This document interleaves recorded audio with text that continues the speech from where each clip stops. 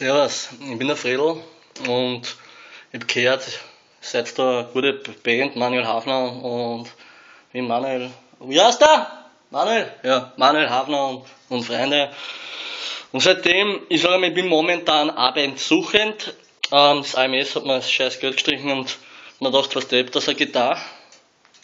Die habe ich gefunden und hab mir gedacht, ja, was der, machst ein bisschen Geld und Alter hat gesagt, wenn ich nicht so besoffen dran bin, bin ich ja nicht einmal so schier.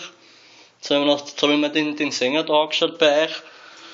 Ist auch nicht gerade der festeste, jetzt habe ich mir gedacht, probier's dein Glück. Also, ich bin, wenn ich will, zuverlässig und wenn ich ein bisschen einen Spiegel habe, also nicht viel, zwei Promille oder so, dann bin ich ja recht umgänglich, muss ich sagen. Dann bin ich, bin ich eigentlich gar nicht so ein bisschen Typ eigentlich, da bin ich eigentlich gut, ja. Und wenn irgendwas Herz, was der wegen Frauenschlagen oder so, das, das war nicht ich, das, das war mein Bruder der Harald. Ja, gell? Na gut, dann freut's mich, gell? Schreibt's mir oder was auch immer, gell? Macht's es gut, gell? Servus.